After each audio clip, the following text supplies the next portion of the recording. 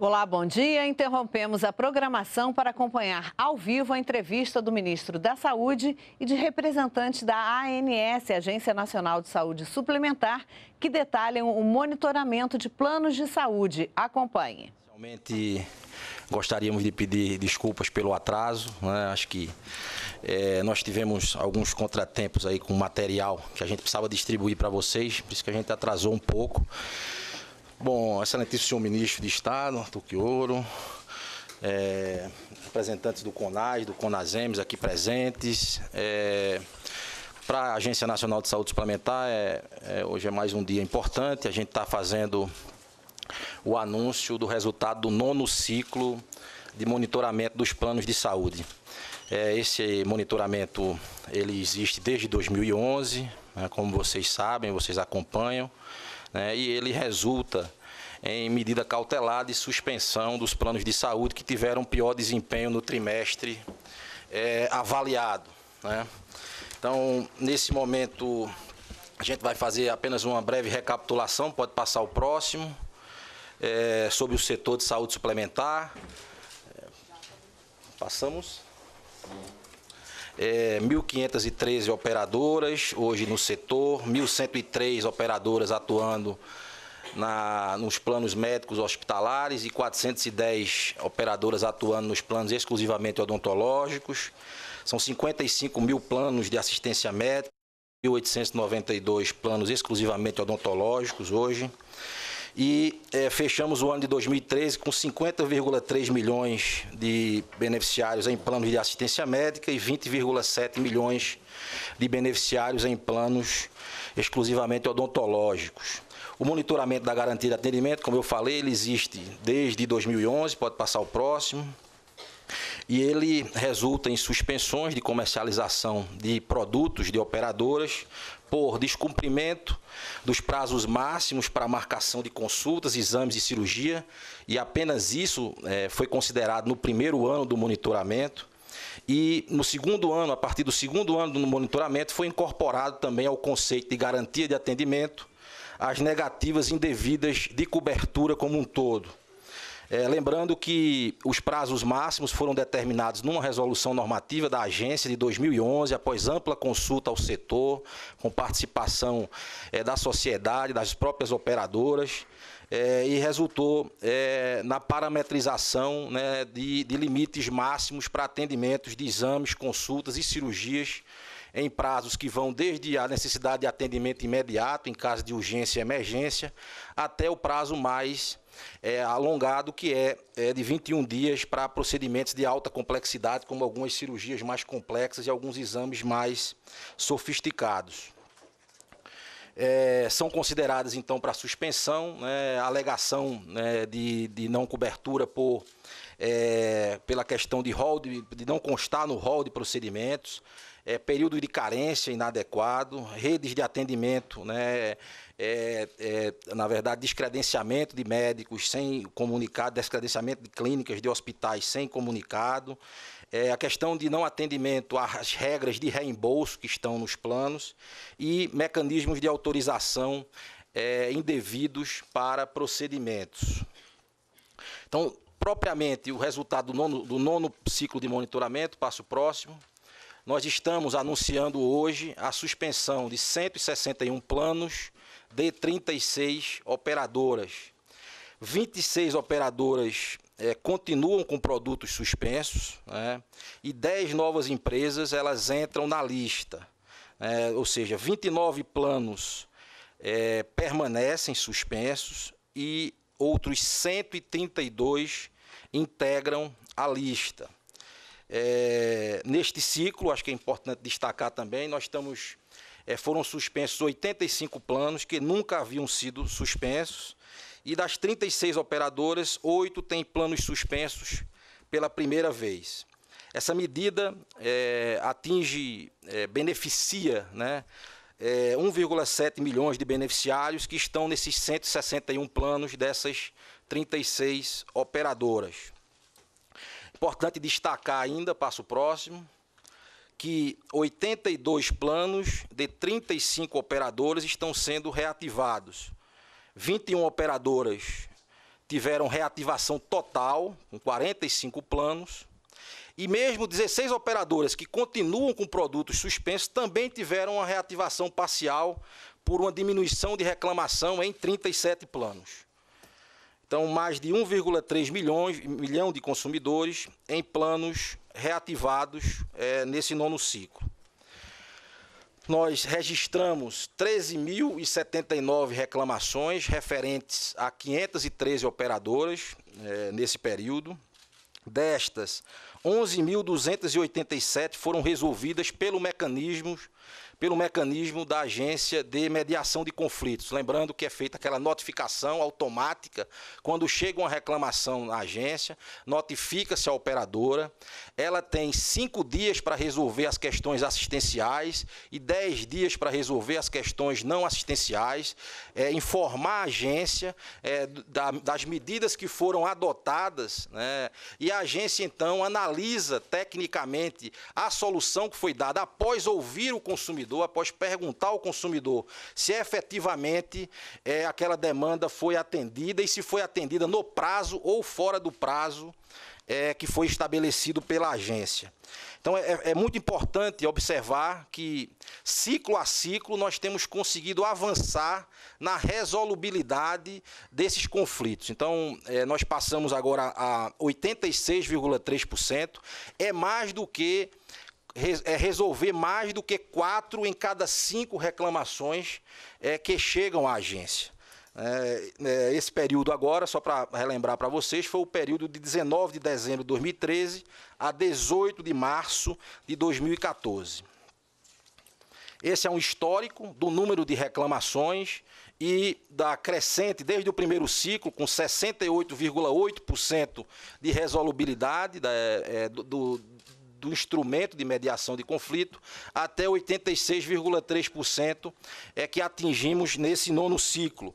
É, isso é importante porque é, esse, esse procedimento é, acaba por impedir né, o prosseguimento dos processos administrativos sancionador. Ou seja, a atenção ao consumidor é, é, é feita de forma adequada e acaba não gerando a necessidade de abertura de processos. É, e as operadoras têm que pensar sempre que um, uma reclamação que não é atendida a contento do consumidor vai sempre gerar um indicador na, na qual ela vai ser comparada com é, as operadoras do seu mesmo porte. Então, é, o próximo slide é, é, interessante porque pela primeira vez nós temos como comparar o mesmo período com as mesmas regras do monitoramento. Então, como vocês devem lembrar, no quinto ciclo nós é, iniciamos é, é, o conceito novo de garantia de atendimento, ou seja, foi de, no ciclo de dezembro de 2012 a março de 2013. Então, pela primeira vez, nós pudemos comparar dois períodos com a mesma é, regra é, utilizada pela agência. E nós observamos uma pequena queda do número de reclamações do período de dezembro de 2012 a março de 2013, em relação a dezembro de 2013 e março de 2014. Uma redução que foi medida em 2,02%, mas há de se considerar também que houve um acréscimo do número de beneficiários da ordem de 5,72%. Né? Então, é, a partir de agora, nós podemos comparar períodos. Né? É, com, a mesma, com a mesma metodologia aplicada é, no monitoramento da garantia de atendimento. Passo próximo. Essa é a pizza é, mostra, essa pizza mostra o perfil de reclamações por tema, né, onde nós temos os dois principais é, motivos é, de reclamação junto à agência o gerenciamento das ações, isso aí é muito papel da central de atendimento da operadora, exigindo coisas é, indevidas, né, como autorizações prévias para procedimentos, como mecanismos de regulação financeira, como franquia, coparticipação que não estão em acordo com os contratos que estão estabelecidos. Então, é, esses são os principais motivos de reclamação. E os prazos máximos para atendimento já aparecendo aí como segundo lugar é, no, no, no, nono ciclo. Isso mostra que é, as pessoas estão cada vez mais informadas sobre é, é, o processo de monitoramento da agência, visto que essa regra não existia há dois anos e três meses atrás. Ou seja, as pessoas estão se apropriando do seu direito é, na busca de ser atendido em tempo oportuno. Essa é uma característica desse programa, a garantia do atendimento no tempo oportuno para é, o beneficiário do plano de saúde. Passo próximo.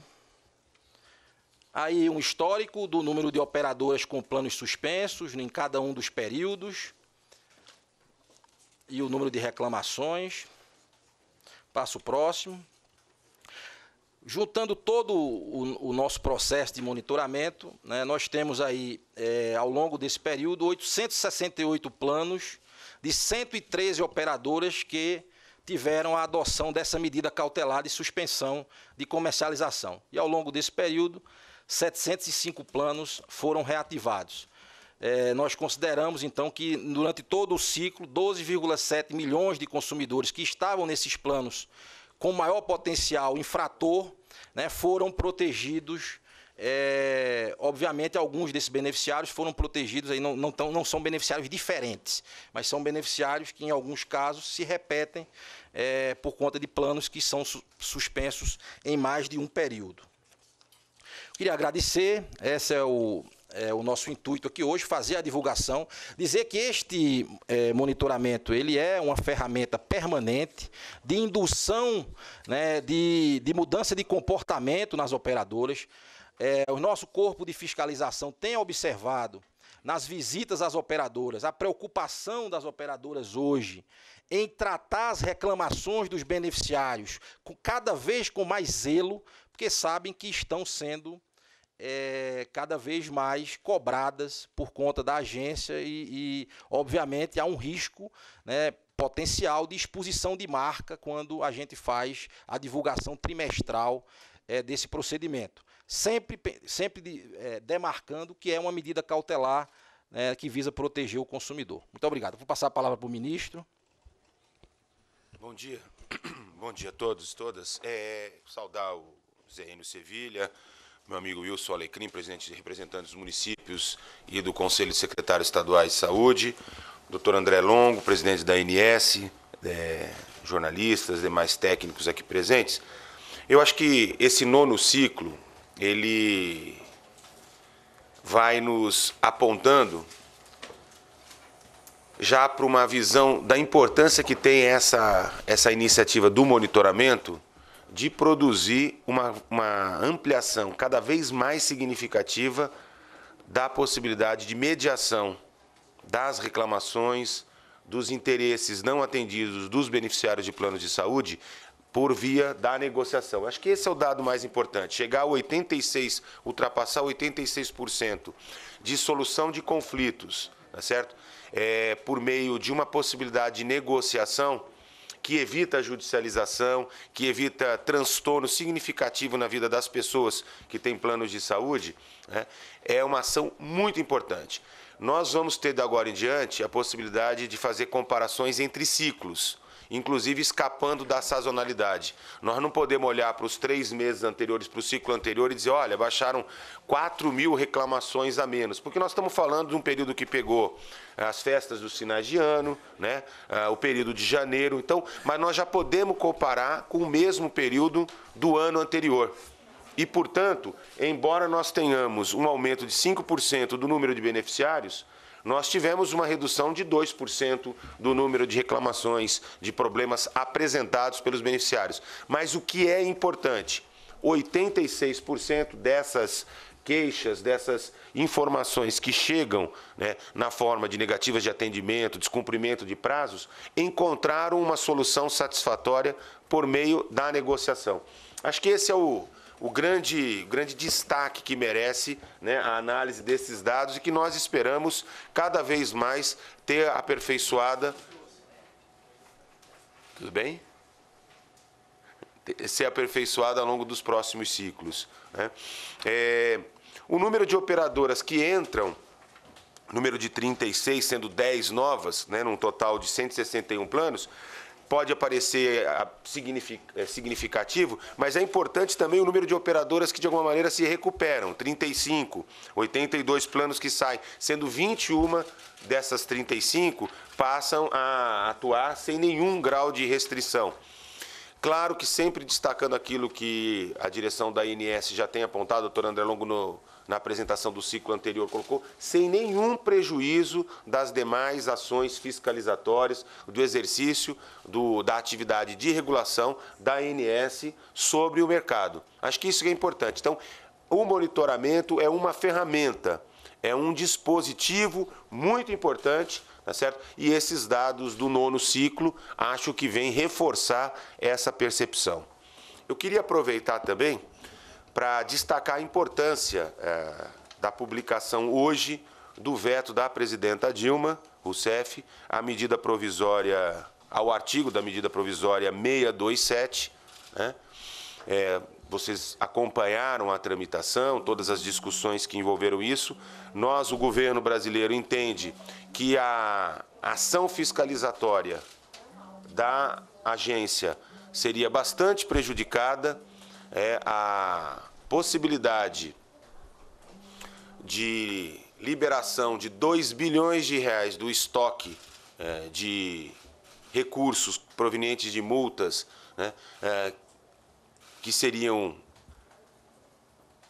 é, dedicados a, ao esquecimento não se justificariam pela, pela regulamentação da medida provisória. Então, nós estamos muito convictos de que foi extremamente importante né, a decisão da nossa presidenta Dilma no sentido de fazer o veto parcial, tá certo? permitindo que as ações da nossa agência não tivessem prejuízo, tá certo? e mais do que isso, nós não tivéssemos também uma renúncia de recursos eh, significativos eh, do sistema de saúde suplementar tão importantes e oriundos dessa, desse não cumprimento de uma série de requisitos e obrigações por parte das operadoras de planos de saúde. Eu queria também, por fim, destacar a importância de uma decisão é, que foi divulgada e passou a vigorar a partir da segunda-feira, que diz respeito à oferta de medicamentos, obrigatoriedade pela oferta de medicamentos contra efeitos colaterais para pacientes em tratamento com câncer.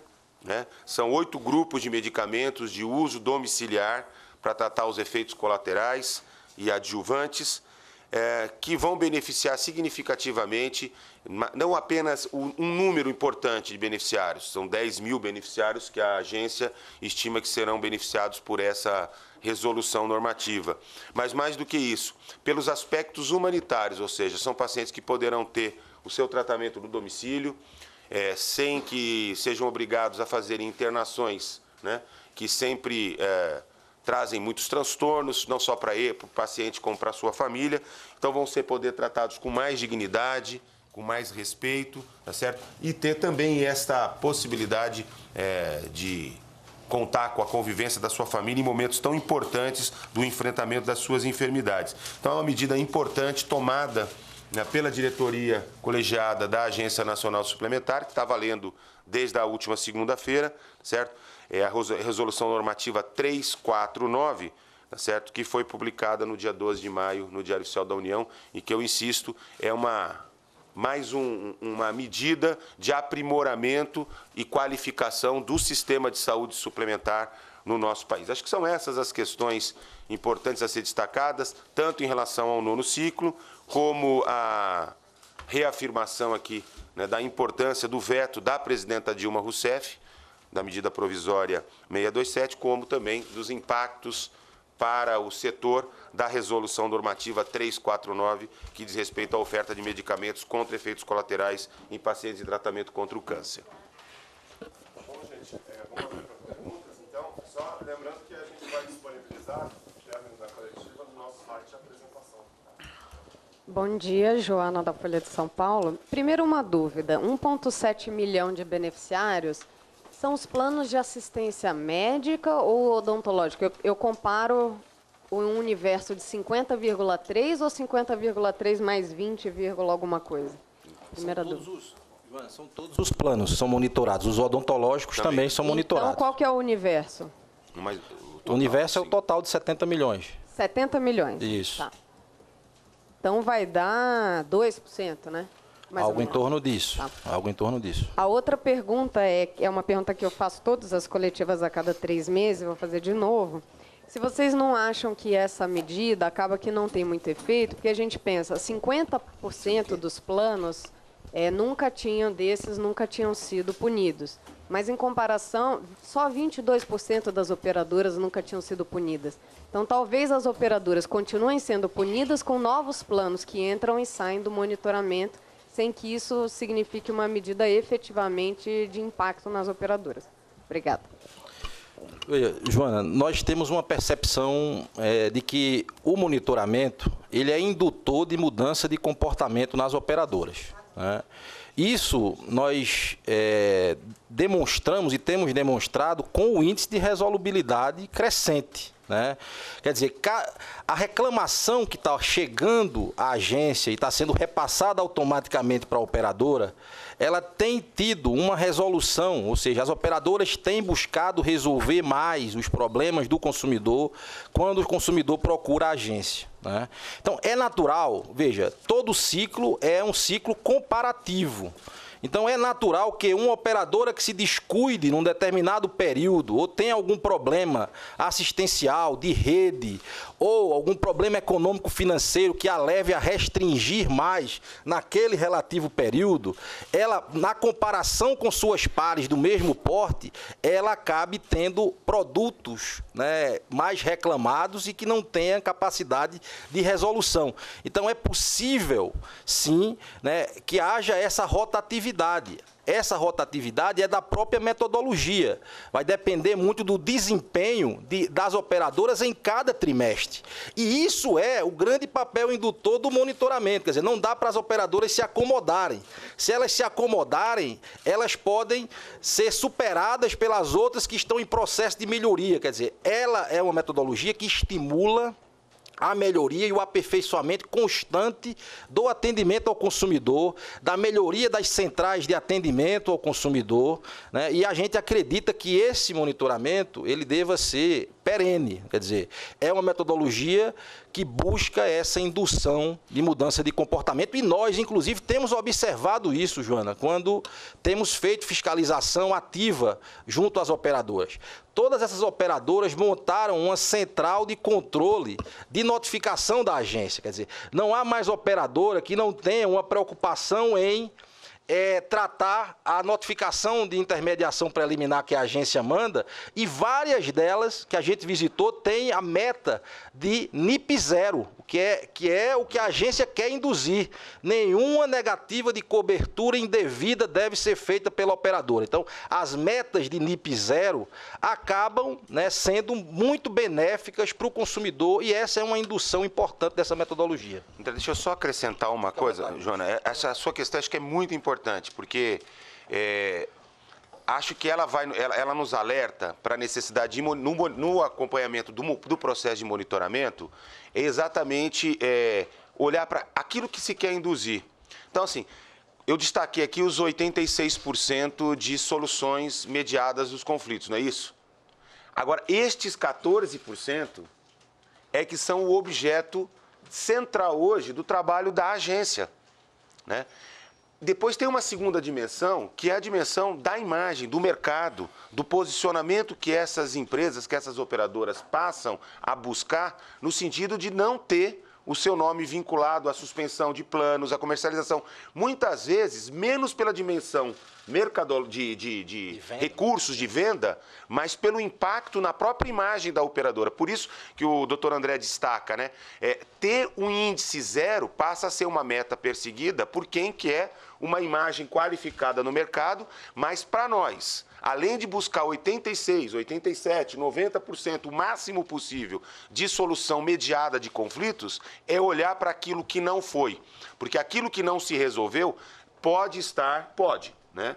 É, estar indicando problemas importantes de oferta de serviço, de organização é, da, da rede assistencial ou estratégias de recusa de atendimento que merecem uma ação intensa, qualificada da agência, no sentido da garantia dos direitos dos nossos beneficiários. E ainda reforçando aquilo que o próprio ministro disse, temos outros mecanismos. Né? Então, no, ao longo desse período, várias dessas empresas entraram em direção técnica, entraram em direção fiscal. Né? Elas foram alvo, várias operadoras saíram do mercado, foram conduzidas à saída do mercado através de mecanismos de portabilidade, porque não tinham mais condição. É, tá desligado, de, né? Ah, que não tinham mais condição de estar tá prestando um serviço Tá com um probleminha? Agora ligou. Agora ligou. Agora ligou. Então, várias dessas operadoras foram conduzidas de forma organizada à saída do mercado, né, porque é, não estavam mais em condições de prestar o serviço adequado à população. Então, acho que é, essa é mais uma medida, né, mais uma medida indutora. Isso não afasta, por exemplo, a questão das multas né, para aquelas operadoras que descumprirem, não afastam os outros mecanismos é, de controle, de avaliação que a agência tem, tanto do ponto de vista assistencial social quanto do ponto de vista econômico-financeiro é, e que são utilizados como ferramentas também é, ao longo desse processo. Olá, bom dia. Oi, oi, oi.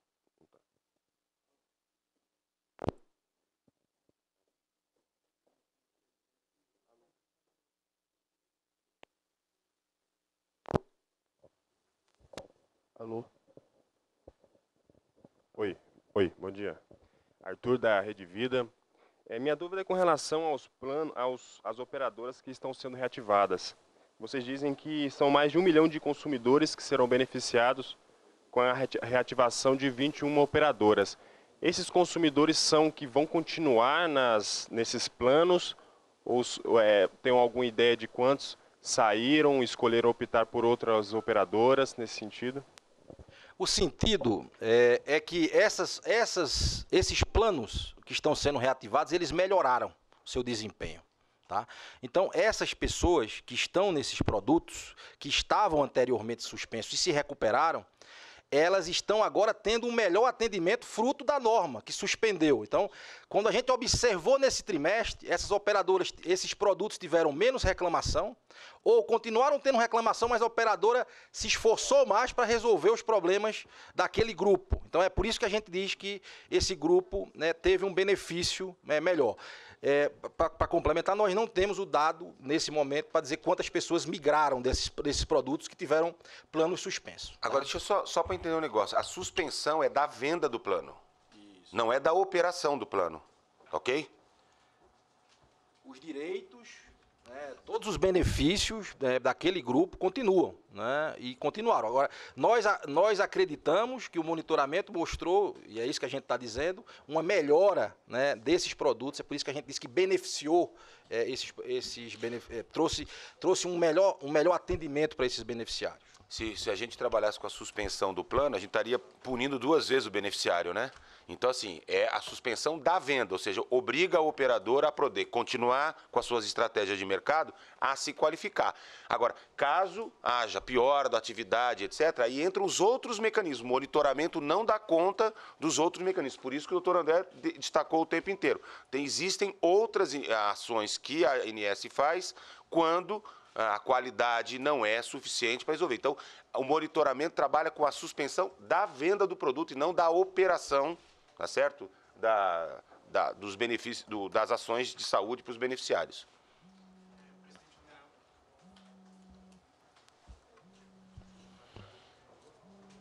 Não?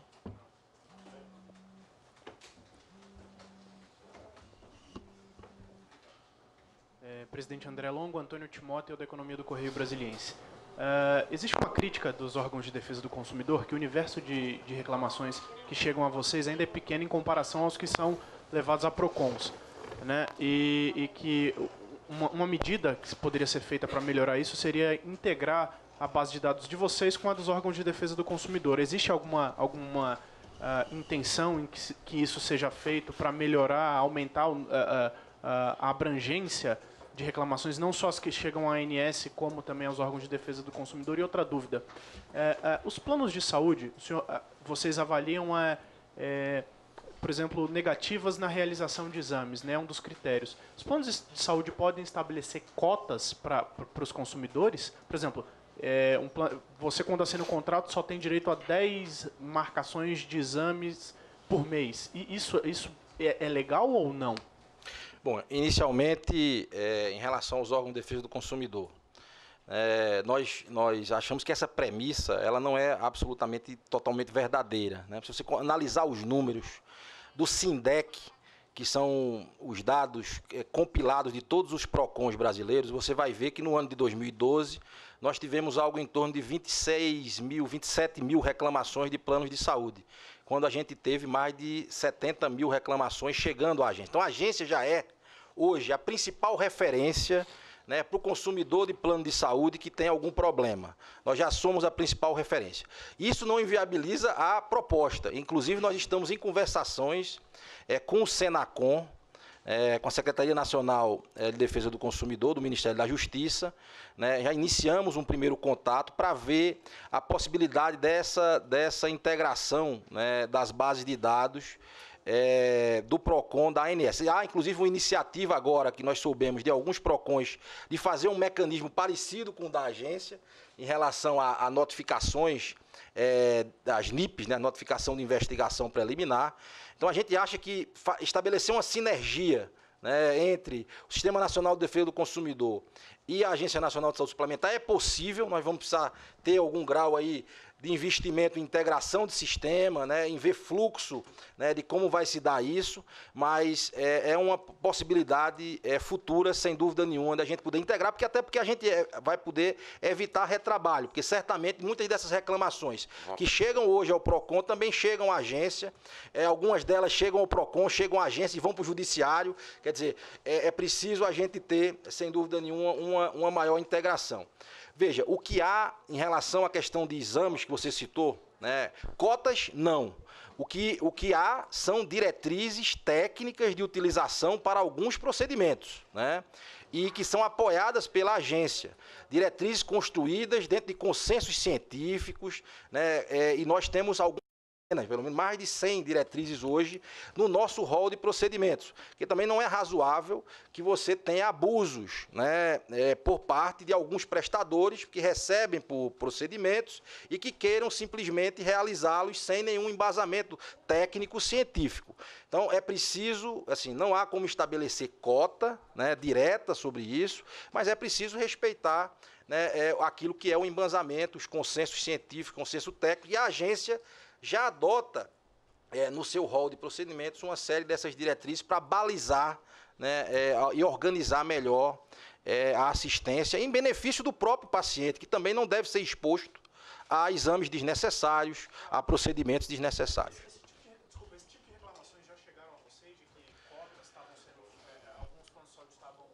Bom, eu, eu, não, eu não conheço agora. Né? Nesse momento eu não tenho como lhe dizer isso né, sobre cota, mas a gente pode, inclusive, olhar lá no nosso, na nossa diretoria de fiscalização e dar um retorno para você no correio. A Jéssica pode fazer isso.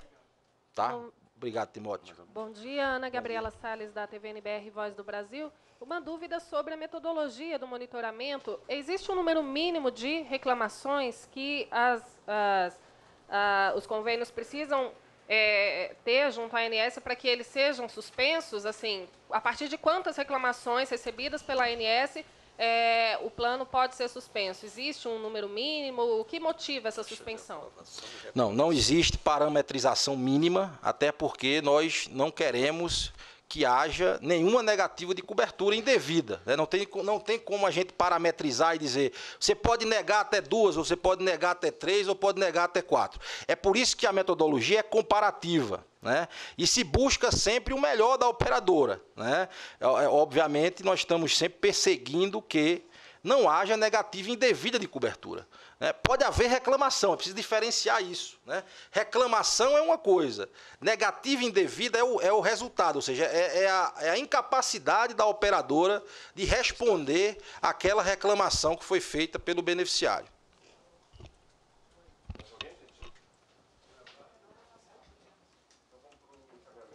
É, Priscila Mendes, da TV Brasil. Eu queria saber se há um limite para a reincidência desses planos. Se vai chegar algum momento que esses planos, em vez de ser suspensos, serão cancelados. Bom, é, como eu falei, né, existem outros acompanhamentos dentro da agência. É, alguns desses planos, alguns desses, dessas operadoras estão atingindo agora a quarta reincidência é, com alguns produtos. Não são necessariamente os mesmos produtos suspensos ao longo do período. Mas isso chama atenção para uma dificuldade maior nessas operadoras. Então, elas estão sendo é, encaminhadas para um rito dentro da agência, que é um rito de, de, de ter que apresentar um plano de recuperação assistencial. Né? É um rito que precede a possibilidade da direção técnica. Então, nós estamos encaminhando para elas é, a possibilidade, que isso é da lei, né, da oportunizar que elas apresentem um plano de recuperação específico no sentido de atender melhor esses beneficiários por conta da reincidência é, é, que a gente chama lá no, em quatro períodos né, seguidos. Algumas operadoras atingiram isso agora. O importante é que o monitoramento criou mais um instrumento de alerta, mais uma maneira de olhar o comportamento das operadoras dos seus planos e principalmente como ela se mobiliza, porque você vai tendo uma série histórica agora do comportamento dela com ela mesma. Então, quer dizer, o quanto que ela avança, o quanto que ela prejudica. Ela pode, por exemplo, adotar uma estratégia, não é incomum isso. Ela adota uma estratégia de mercado e compra uma outra empresa, por exemplo. Ou avança num certo, numa certa praça onde ela não atuava. E uma empresa que vinha bem, sem reclamação, por conta de uma estratégia às vezes não bem sucedida, ela pode enfrentar problemas. Isso aparece, é suspensa a venda, é feito, ela apresenta a recuperação, o seu reajuste de, de, de operação e pode voltar à normalidade. Agora, se ela vai reincidindo, vai se observando o acúmulo de problemas, outras medidas. O monitoramento, aí não é o monitoramento que dá conta de resolver essa questão que você levantou. São um conjunto de outras ações que a agência faz baseada na própria legislação e que permite a ela chegar, inclusive, tá certo? aos casos mais drásticos da, da liquidação, da, da, da, da direção técnica, enfim, da, da, retirada da operação no mercado até passar para outra empresa. Né? Mas são etapas, a ideia é pegar numa etapa anterior, o monitoramento permite isso, tá certo? Permite um, um olhar mais preventivo, tá certo? E uma ação mais é, breve no sentido de sanar as deficiências que vão aparecendo.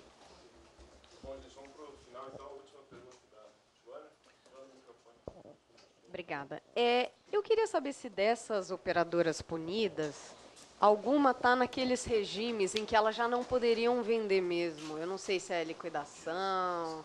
Então, assim, se na verdade é, a punição vem apesar de elas já não poderem mesmo. É, e a outra pergunta para o ministro, é, ministro, queria saber como que o senhor está vendo a dengue em São Paulo. É, os dados do Ministério mostraram ali um aumento no número de casos graves. Queria saber se preocupa e se, de forma geral, a dengue preocupa para a Copa. Se mudou alguma coisa a avaliação do Ministério. Obrigada. É, só a primeira, Joana, não há, nessa lista não há nenhuma operadora que já não estava em condição de vender. Tá? Tem operadora aqui, tem é, oito operadoras que estão ou em regime de direção técnica ou já em regime de direção fiscal, às vezes com as duas, com os dois regimes implantados. Tá? É, tem operadora aqui que tem direção técnica e direção fiscal implantada. Né? Mas esses produtos que a gente está anunciando hoje, todos eles estavam liberados para comercialização. Por isso que a gente está anunciando, até porque essa medida é uma medida cautelar, não justificaria se a gente anunciar isso se ela já tivesse com o produto suspenso, tá? Bom, Joana, deixa eu lhe me colocar muito brevemente essa questão do dengue, porque eu acho que é uma oportunidade importante tratar desse tema. Primeiro, eu quero continuar reafirmando o dado geral do país. Nós temos uma redução de 71% do número de casos de dengue, quando a gente compara o mesmo período do ano passado em todo o país, tá certo? É, nós tivemos uma redução de 97% dos casos graves, que é super importante em todo o país, mesmo com mudanças de, de critérios do, da Organização Mundial de Saúde, e houve uma redução de óbitos de 89%. Tá certo? Nós tivemos em 2013 435 óbitos e este ano 69 óbitos. 435 óbitos e este ano 69, comparando o mesmo período, tá? Então nos permite fazer comparação. É uma redução de 89%. Isso, eu estou comparando 1 de janeiro a 19 de abril. Semana epidemiológica 16. Pra gente, a gente, do ponto de vista da epidemiologia, trabalha sempre com semanas epidemiológicas para poder comparar, inclusive, dados internacionais e dados de um município com outro, estado com outro, país com outro, tá? Então é desse período que eu estou falando. Então, vou repetir: uma redução do número de casos no Brasil da ordem de 71%, uma redução de casos graves da ordem de 97%, certo? E do número de óbitos da ordem de 89%. No estado de São Paulo, eu vou te dar também os dados, viu, Joana? Agora certinho para você poder anotar. Nós tivemos neste período, em 2013, 170.511 casos. 170511, o que dá uma incidência de 406,9 casos para cada 100 mil habitantes. Acho que é importante para a gente poder comparar as coisas de tamanhos diferentes. Este ano, nós temos 116 mil, no mesmo período, 116.999 casos, com uma incidência, ou seja, número de casos novos por 100 mil habitantes, de 279, 279,2. Então, esse é o primeiro número de casos. Em relação aos casos graves, nós tivemos uma redução de 87% no estado de São Paulo, se comparado a 2013. Tá certo? No Brasil, a redução foi de 97%, no estado de São Paulo, de 87%. Tá? Nós tivemos 359 casos graves em 2013 contra 45 casos de dengue grave, tá certo? 2014. E os óbitos, nós tivemos uma queda no estado de São Paulo de 83%. Foram 52 óbitos em 2013 contra 11 óbitos no mesmo período em 2014. E por fim, respondendo à última questão que você me perguntou, a preocupação, claro que nós vamos manter a preocupação em relação à dengue durante 365 dias do ano. Tá certo? É, seria absolutamente inconsequente da minha parte dizer à população que, olha, o período, o, período mais grave para o aparecimento de novos casos já terminou. De fato, epidemiologicamente falando, tá certo? É, os casos costumam ocorrer tá certo? Entre a 15 e a 20 semana, e nós já estamos fora, de, já estamos finalizando. A Copa ocorrerá fora desse período. Mas é extremamente importante que a população do Estado de São Paulo, assim como de todo o Brasil, não só das cidades onde estão ocorrendo casos neste momento, mas que toda a população faça a sua parte, que o poder público, municípios, estados e a União façam a sua parte. A gente sabe que nós temos um problema não só né, é, da, do, dos criadouros do mosquito em áreas públicas relacionadas a lixo, etc., acúmulo de resíduos, mas nós temos uma importante componente nos domicílios. Portanto, a ação responsável de todas as pessoas, de toda a população e das autoridades públicas dos serviços de saúde é importante e continua sendo importante. Agora, é inegável que nós estamos já num franco declínio do número de casos notificados, tanto suspeitos como confirmados, e que chegaremos nos próximos 30 dias já num período absolutamente diferente daquele que se observa pelas características da história natural da doença,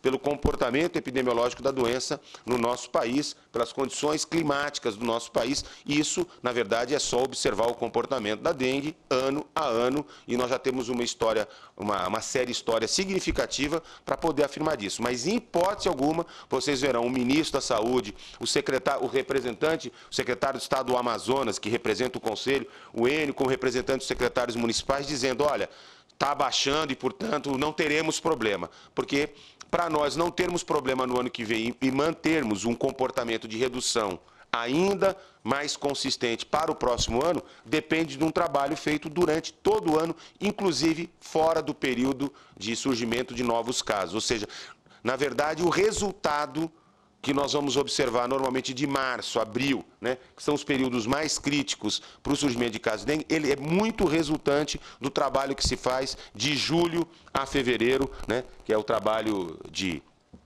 é, identificação e eliminação dos focos de criação do, do mosquito, do, do Aedes aegypti, tá bom? Você acompanhou ao vivo a entrevista do ministro da Saúde, Arthur Quioro, sobre monitoramento dos planos de saúde. E nós podemos voltar a qualquer momento com outras informações. Continue com a gente, NBR e a TV do Governo Federal.